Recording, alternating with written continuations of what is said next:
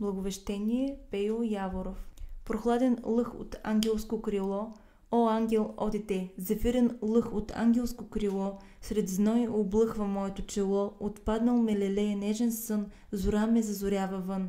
Мелодия неземна сред нощта, о песен, о дете, мелодия вълшебна сред нощта, лелей приспива мисълта, зора се на нова зазорява вън и празничен се носи звън. Душата ми тъгува и мълчи, о сълза, о дете, душата ми бленува и мълчи и тихо капят сълзи от очи. Аз слушам празнично тържествен звън през утрен сън, уви през сън. 25 март 1906 година